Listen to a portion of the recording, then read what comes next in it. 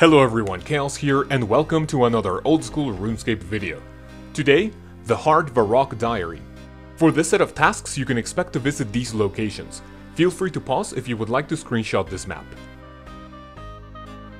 For the level requirements, you need 51 agility, 50 construction, 68 farming, 60 fire making, 66 hunter, 54 magic, 52 prayer, 40 ranged, 53 thieving, and 60 woodcutting. For the item requirements, you need around 26,000 coins, 2 dashing kebbit fur, any axe, 2 law, 1 fire and 1 air rune, a skull scepter, a tinderbox, a yew sapling and preferably 10 cactus spines, and farming tools. For the quest requirements, you need to have completed Desert Treasure. You will also need 153 museum kudos. Remember to bring some method of transportation to make this slightly faster.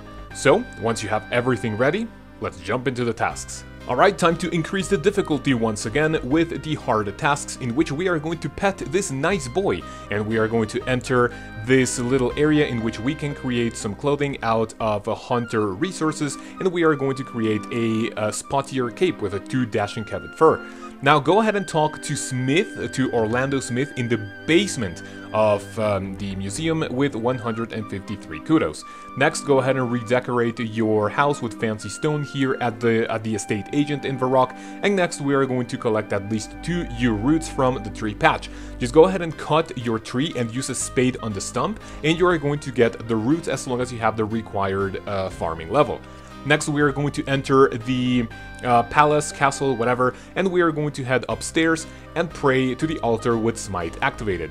Next, we are going to chop some yew logs in Varrock, and then we are going to burn them at the top of the Varrock church. As you can see, the yew logs are very close to the castle, and once you have it, uh, it, them, I don't know how to call the, it, uh, is it the item or, or are they the logs, who knows. Uh, go ahead and jump all the way to the top of the church and just go ahead and light your yew logs And that is going to be pretty much it. Next, we are going to teleport to Paddewwa, for which you need to, you know, have your uh, little ancient uh, spellbook and just go ahead and cast the teleport. Next, we are going to squeeze through the obstacle pipe in the Edgeville dungeon. This is the one that takes you to the Moss Giants. Next, we are going to, well, after we land here, I guess, uh, for task number 9, we are going to go to uh, make a Waka canoe near Edgeville.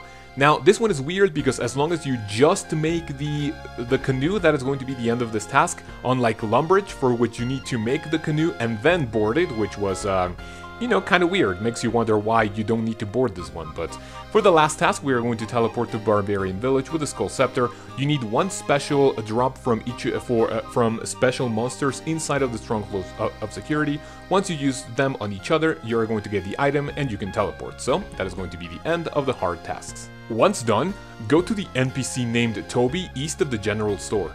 You will obtain the Varrock Armor 3.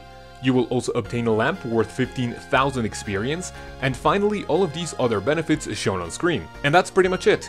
If this video was useful in any way, make sure to drop a like and subscribe for more guides. Thank you very much for watching, and I hope to see you soon.